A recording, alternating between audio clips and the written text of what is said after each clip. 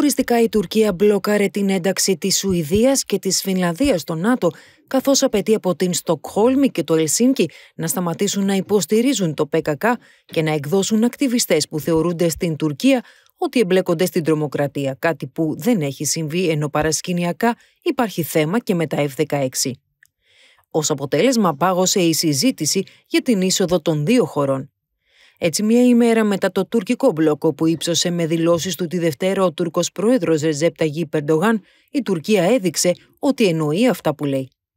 Η Φινλανδία και η Σουηδία αποφάσισαν να ενταχθούν στο ΝΑΤΟ στις 18 Μαΐου εν μέσω των γεγονότων στην Ουκρανία.